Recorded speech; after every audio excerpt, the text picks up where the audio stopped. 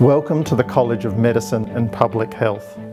Our research, teaching and learning changes the lives of individuals and improves the quality of life in our communities. It's an incredible place to be a part of. Our collegiate approach allows us to innovate in new and unexpected ways.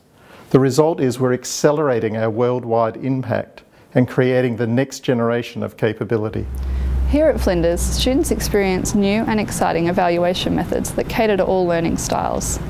Our students have access to experts in their field, superb facilities and are given every opportunity to achieve excellence. We are a research intensive group using our research outcomes to inform all we do. We have researchers who work on the smallest of molecules through to population health outcomes.